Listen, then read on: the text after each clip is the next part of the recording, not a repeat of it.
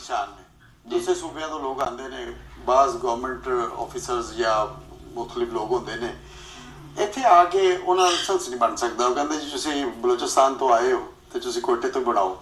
ਤੇ ਇਹ, ਇਹਦੇ ਚ ਕੋਈ ਰਿਲੈਕਸ ਨਹੀਂ ਹੋ ਸਕਦਾ। ਜੀ, ਬਿਲਕੁਲ ਰਿਲੈਕਸ ਹੋ ਸਕਦਾ ਹੈ। ਅਸਲ ਵਿੱਚ ਕਿਉਂਕਿ ਲਾਹੌਰ ਦੀ ਕਪੈਸਿਟੀ ਇੰਨੀ ਨਹੀਂ ਕਿ ਅਸੀਂ ਇੰਨਿਆਂ ਲੋਕਾਂ ਨੂੰ ਸੰਭਾਲ ਸਕੀਏ ਆਬਾਦੀ ਲਾਹੌਰ ਤੋਂ ਬਾਹਰੋਂ ਲੋਕ ਇੰਨੇ ਜ਼ਿਆਦਾ ਆਉਂਦੇ ਨੇ ਇਸ ਵਾਸਤੇ ਪਾਬੰਦੀ ਲਾਈ ਗਈ ਅਦਰਵਾਇਜ਼ ਲੀਗਲੀ ਇਹ ਤਾਂ ਕੋਈ ਉਹਦੇ ਕੋਈ ਐਸਾ ਇਸ਼ੂ ਨਹੀਂ ਹੈ ਲਾਇਸੈਂਸ ਬਣ ਸਕਦਾ ਹੈ ਲੇਕਿਨ ਉਹਦੇ ਵਾਸਤੇ ਜਿਹੜਾ ਚੀਫ ਟ੍ਰੈਫਿਕ ਅਫਸਰ ਹੈ ਯਾਨੀ ਮੇਰੇ ਦਫ਼ਤਰ ਤੋਂ ਇਜਾਜ਼ਤਨਾਮਾ ਲੈਣਾ ਪੈਂਦਾ ਹੈ। ਉਸ ਇਜਾਜ਼ਤ ਤੋਂ ਬਾਅਦ ਜਿਹੜਾ ਇੱਥੇ ਵੀ ਲਾਇਸੈਂਸ ਬਣ ਸਕਦਾ ਹੈ ਕੋਈ ਇਹਦੇ ਐਸੀ ਮਸਲਾ ਨਹੀਂ ਹੈ ਔਰ ਜਿਹੜੇ ਲੋਕ ਬਾਹਰ ਦੇ ਰਹਿਣ ਵਾਲੇ ਨੇ ਬਾਹਰ ਦੇ। ਜਿਹੜੇ ਬਾਹਰ ਦੇ ਸੂਬਿਆਂ ਤੋਂ ਨੇ ਜਿਹੜੇ ਇੱਥੇ ਆਏ ਨੇ, ਕੰਮ ਕਰਦੇ ਨੇ, ਉਹਨਾਂ ਲਈ ਇੱਕ ਹੀ ਸਿਰਫ ਰਿਕੁਆਇਰਮੈਂਟ ਹੈ ਕਿ ਉਹ ਸਾਨੂੰ ਇੱਥੇ ਜਾਂ ਤਾਂ ਕਿਰਾਇਆਨਾਮਾ ਦਿਖਾ ਦੇਣ ਜਾਂ ਜਿੱਥੇ ਕੰਮ ਕਰਦੇ ਨੇ, ਉਸ ਕੰਮ ਦਾ ਸਰਟੀਫਿਕੇਟ ਦਿਖਾ ਦੇਣ ਕਿ ਅਸੀਂ ਇੱਥੇ ਕੰਮ ਕਰ ਰਹੇ ਹਾਂ। ਜੇ ਅਸੀਂ ਉਹਨਾਂ ਨੂੰ ਇੱਥੋਂ ਲਾਇਸੈਂਸ ਜਾਰੀ ਕਰ ਦਿਆਂਗੇ। ਇਹਦੇ ਵਾਸਤੇ ਕੋਈ ਮਸਲਾ ਨਹੀਂ ਹੈ, ਉਹ ਆ ਸਕਦੇ ਨੇ ਮੇਰੇ ਦਫ਼ਤਰਾਂ, ਮੈਂ ਉਹਨਾਂ ਨੂੰ ਇਜਾਜ਼ਤਨਾਮਾ ਜਾਰੀ ਕਰਾਂਗਾ ਔਰ ਉਹਨਾਂ ਦਾ ਲਾਇਸੈਂਸ ਬਣ ਸਕਦਾ ਹੈ।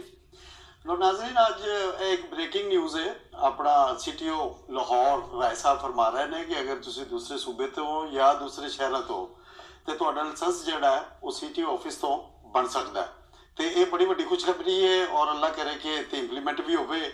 ਤੇ ਜਨਾਬ ਅਹ, ਮੀਆਂ ਸਾਹਿਬ ਤੁਸੀਂ ਇਹ ਦੱਸੋ ਕਿ ਟ੍ਰੈਫਿਕ ਦੇ ਜਿਹੜੇ ਹੋਰ ਮਾਮਲਾਤ ਨੇ ਮੈਂ ਪ੍ਰੋਗਰਾਮ ਤੋਂ ਪਹਿਲੇ ਜ਼ਿਕਰ ਕਰ ਰਿਹਾ ਸਾਂ। ਕਿ ਸਕੂਲ ਔਰ ਕਾਲਜਸ ਦੇ ਵਿੱਚ ਬੱਚਿਆਂ ਨੂੰ ਤੇ ਅਸੀਂ ਮਤਲਬ ਇਹਨਾਂ ਦੀ ਟੀਮਾਂ ਜਾ ਕੇ ਐਜੂਕੇਟ ਕਰਦੀਆਂ।